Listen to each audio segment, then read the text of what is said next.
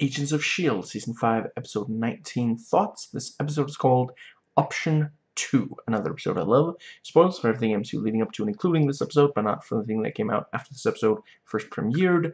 The episode is rated TV-14, so this video be let's dive right in.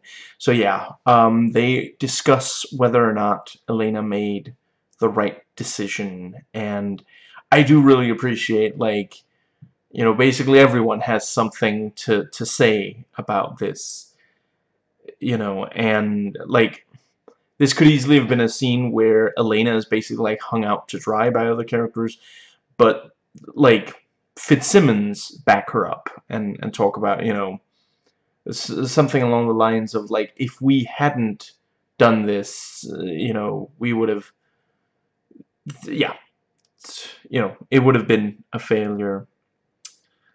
Let's see, and um, yeah, um, very chilling when you know Talbot, you know, talks to to Coulson and says, you know, and, and basically admits, you know, I must have given them our location, which just, holy crap. And I love the movie phone, like the, you know, if you are dealing with a natural disaster, press 1. How was I supposed to know that it was an alien invasion option? You always listen to the end of the menu. And I like Elena's, you know, we're going to be in here. You, you really think you can avoid me for 15 years? And yeah, just some really great moments between Mac and Elena. You know, talking about if that if it was going too far, and you know May, you know, killing the girl in Bahrain is brought up.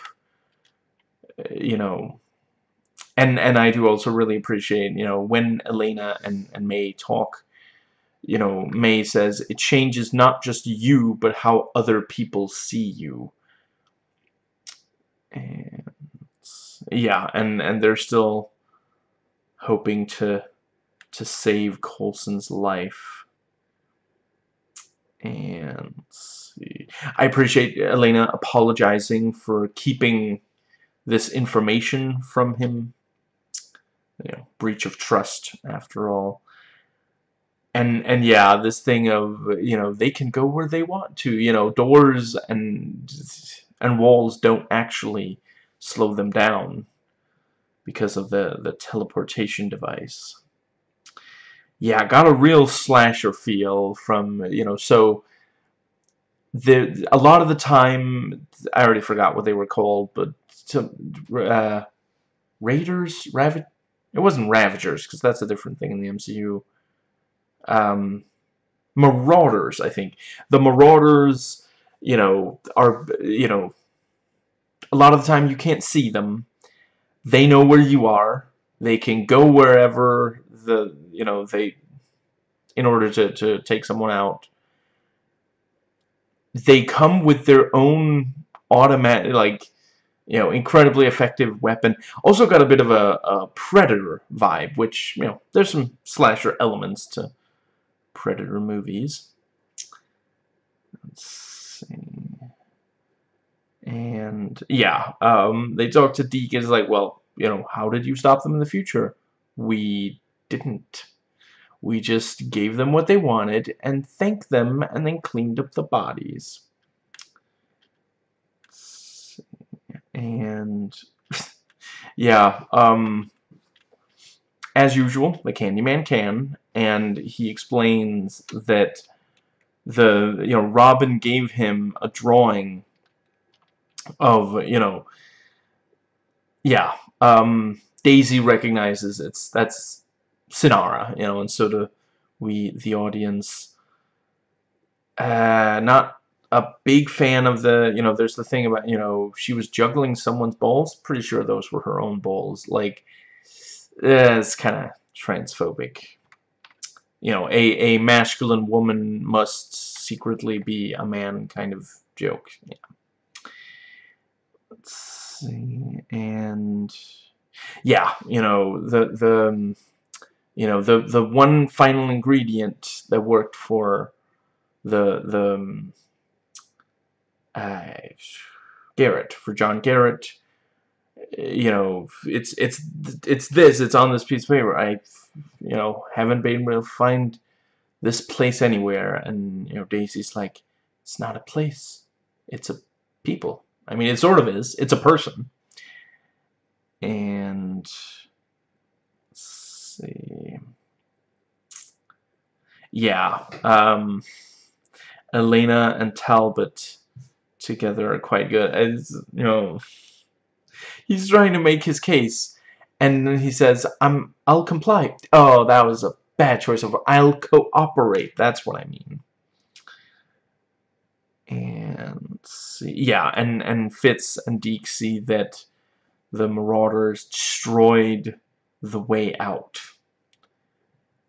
And yeah, very cool that they have like EMP powers, so they have to go really old school.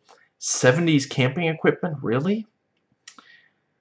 And Talbot, Simmons turns her back on him for just a little too long. You know, he ices her and gets into the machine. And I really do appreciate because, like, when Ruby got in the machine and it was fired up, like, we were like, oh no, she's gonna, you know, it's gonna get to 100%, and then, you know, it stopped at 8%, you know, and now it went to 100% for Talbot. And see, he does seem a lot more stable than Ruby was after 8%, even though he's at 100.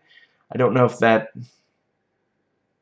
I mean, maybe like more years of it because they've both had training, but maybe maybe more years of experience, maybe a more well-adjusted.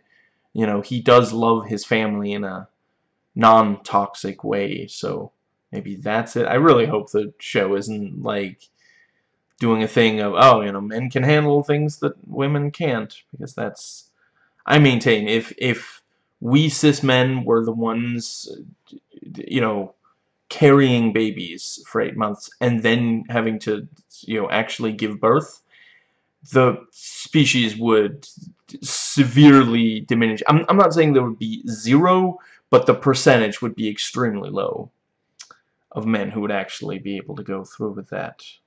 And I count my... I'm, I'm not saying that I would either. Let's see. The... Um, then we have the Deke. Whatever happens, never call me Gramps again. Let's see. You're maybe you're a canary in a coal mine. I don't know what either of those things are. And yeah, once the the the marauders are on, you know, all the different you know, there's like three different doors that they're, you know, pounding on. Really got like a xenomorph zombie movie vibe. Love it.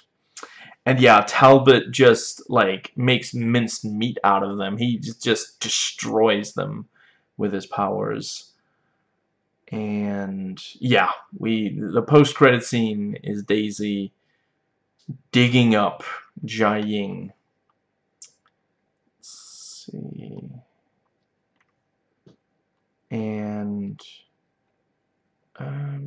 right, so IMDb trivia for this episode. At 554, the Gravitonium is a in a pneumatic tube capsule. Most everyone has used one at a bank drive-through. After Glenn Talbot gains the power to control gravity, a case of gravitonium is seen with some of the letters obscured, causing it to read Graviton, suggesting that Talbot has become the villain Graviton. Very cool. Let's see. And...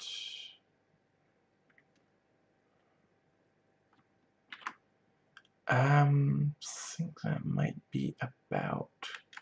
Right, I like that when Phil tells, you know, he tells them it's going to be 15 years, but he claims that it's was it, a malfunction or something like that. he won't admit that it was his mistake. We have years of food, water, and air. Is that true? Not good food. Let's see. And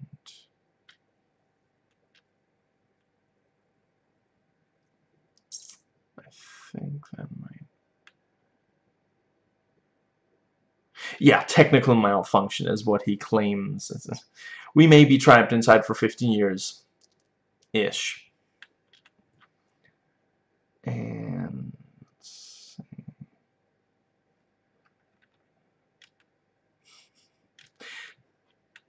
that. Do you think Deke's right? Let me be clear, Deke is never right. What happened to your multiverse? Thought you were everyone everywhere all at once. And uh, let's see, I think that might be all that. Yeah. I should be able to do an episode tomorrow. Really, really excited. It's coming to a close. There's, what, three more episodes? 2021, 20, three more episodes, yeah yeah, really, really excited to see the conclusion. Citizens of the Lighthouse, I bring you excellent news. The outer atmosphere shows no signs of contamination. Congratulations, you have survived the nuclear apocalypse. The planet is safe again.